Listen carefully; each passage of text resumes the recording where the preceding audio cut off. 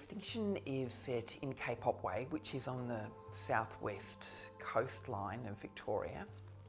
And the play's about a man who um, is one wet, windy night drives down to Cape Otway to um, see his parents to tell them that he's getting a divorce, and he hits an animal, and the animal's a tiger quoll, and the tiger quoll is was once in the 50s quite a populous uh, species, but now is virtually extinct.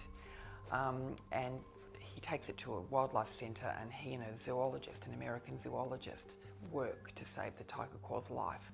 And everything about the play springs from what happens in that room. What I usually do with the theatre, no matter how severe and serious it is, I always look for light moments and highlight those. For me, theatre has always been a place where you go to be inspired to think, to analyse your world, to be faced with new concepts, new questions about the place that you live in. And this is a play that definitely does that.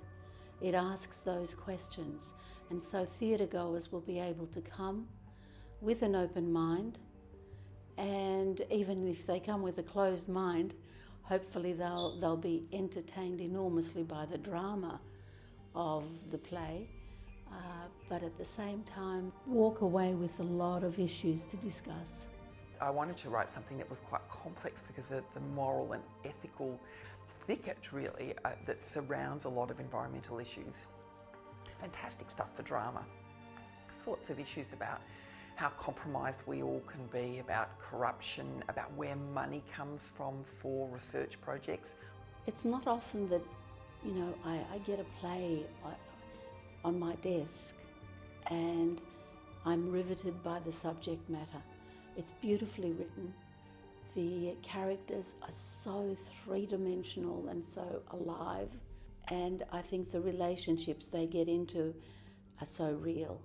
So I think your audiences are going to be riveted by this production because it's such an amazing story.